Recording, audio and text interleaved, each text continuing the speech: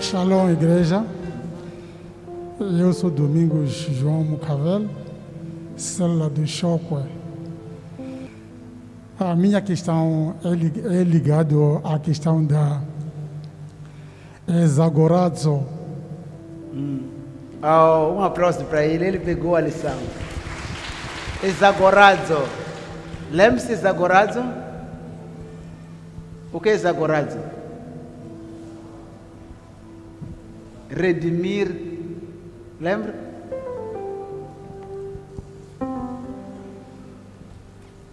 A minha questão, pai, é: se olharem para a minha idade, aqueles que são meu- da minha era hum, não são muito pela palavra. E acuso as trevas por ter tomado conta de nós até essa, essa oportunidade. Inclusive, eu aqui parado, sinto que eh, Exagoraço tomou conta de mim por causa disso. Eh, pai, quando estava a ensinar ontem, falou do arrebatamento e tocou no coração por causa de Exagoraço.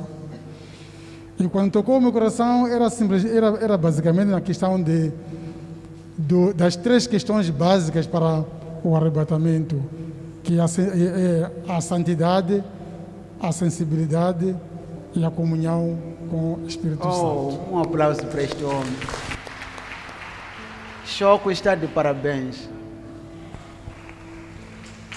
Sim. Se neste momento, Pai, minha questão é o que que eu faço para recuperar o tempo perdido neste momento e com esta minha idade. Não falo de mim só, falo também das pessoas da minha geração.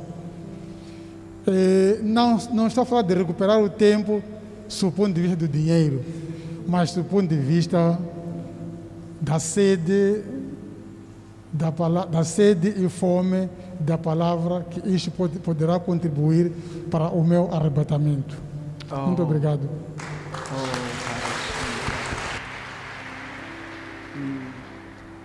Su- Sua questão é muito genuína. Ah, primeiro, quero parabenizá-lo pela sua honestidade né, em dizer: perdi muito tempo. Pessoas da minha geração viviam com, viviam com base na tradição de parlotas, de curandeirismo. E eu também só conhecia a palavra agora que sou grande. Então, o que eu faço para curar esse tempo todo que eu perdi? Ah, é muito simples. A primeira coisa que o, que o papai tem que fazer é ser grato a Deus que conseguiu ser alcançado por esta graça e por este evangelho ainda vivo, não importa a sua idade. Isto é que tem que agradecer a Deus. Quando nós somos gratos,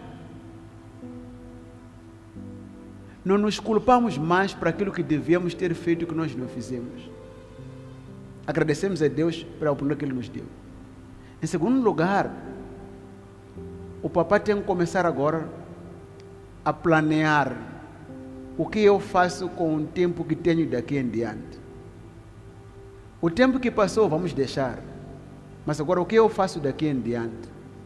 Naquele tempo não tinha o conhecimento da palavra. Agora conhece a palavra. E tem muitos dos seus colegas, muitos dos seus contemporâneos, pessoas da sua idade, daquela geração, que cresceu na parlota. Quem sabe Deus quer usar assim para ir testemunhar a sua salvação e a sua fé a eles e eles virem a Jesus. Não se esqueça, idade não é problema para Deus. Moisés, quando tinha 40 anos, tentou com sua força libertar o povo de Israel do Egito. Fracassou. E para proteger a sua vida, para se salvar, ele fugiu do Egito para Midian. E lá ficou 40 anos a pastar ovelhas do seu sogro, Jetro. Lembra, quando ele tinha 40 anos, tinha força para fazer algumas coisas que não conseguiu fazer.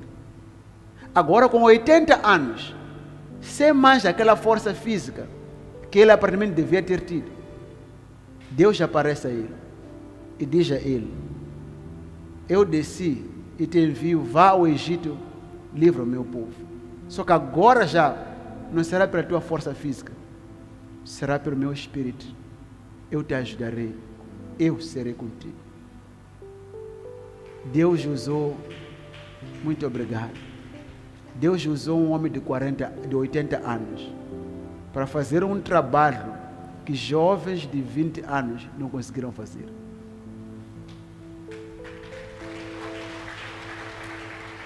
Então, essa sua idade não é problemática. Deus vai lhe usar nessa idade e pode até alcançar e cumprir grandes coisas que não conseguiria ter feito antes de chegar a essa idade. Deixe que se renda a Deus.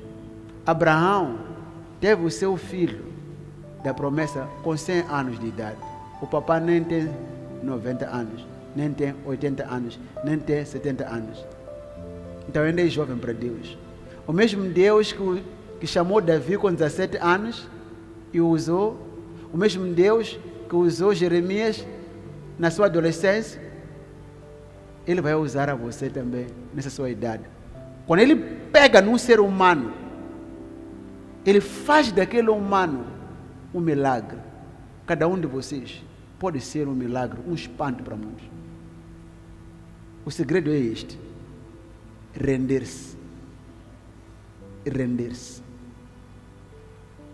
Render-se, entregar-se.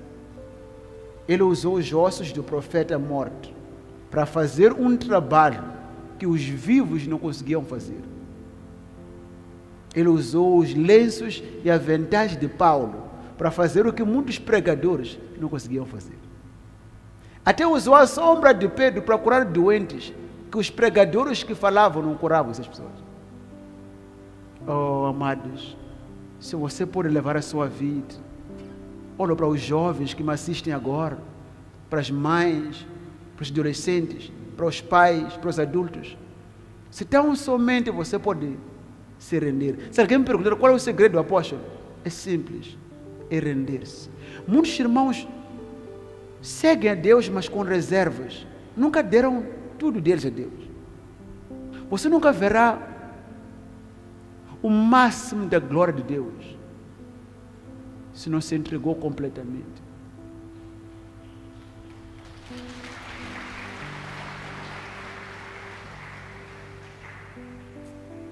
Render-se.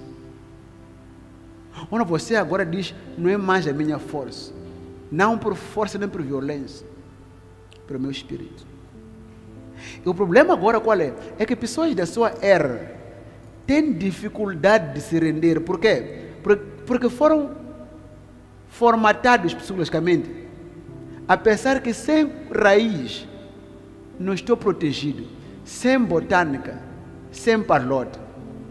E o papai será um uma testemunha viva de que você pode prosperar, você pode ser protegido e viver sem palota, sem raiz, mas pela fé, em nome de Jesus. Viver pelo nome de Jesus.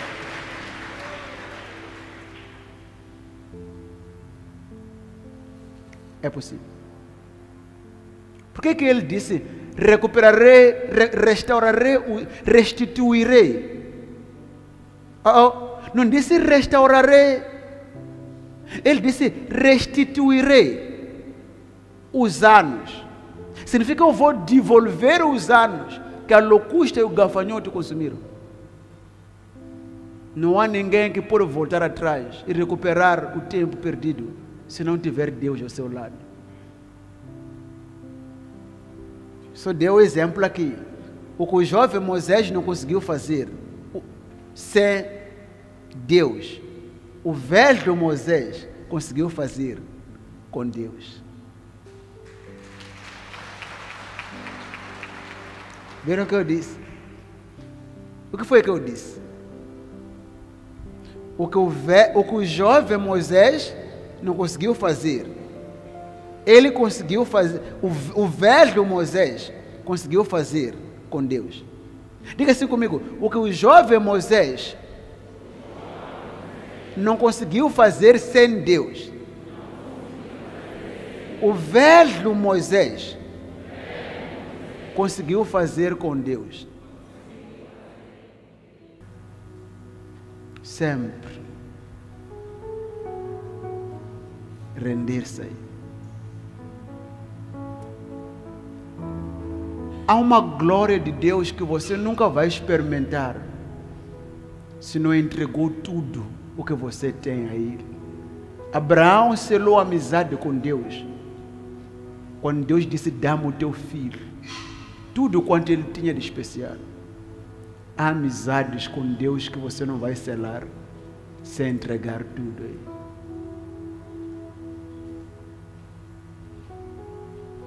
Os reis, na altura, ofereciam um, três holocaustos ao dia. Sacrifícios de manhã, de tarde, de noite, e de tarde, aliás. Uns dois tipos de sacrifício, aliás. Mas Salomão, nesse dia, ofereceu a Deus, em vez de uma ovelha, fez mil holocaustos. E naquela noite Deus veio e falou com ele, disse, agora Salomão, peça o que você quiser, te darei. Há certos sacrifícios que você tem que fazer, que farão Deus vir falar consigo. há certas ofertas que você nunca deu, mas quando você dar essas ofertas, terá uma visitação especial. Isso importa.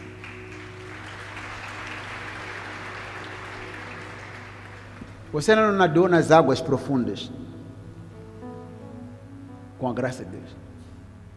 Vamos sentar. Obrigado. Então, papá, responder assim. Amém. Obrigado, Pai. Muito obrigado. Estou satisfeito. Deus vai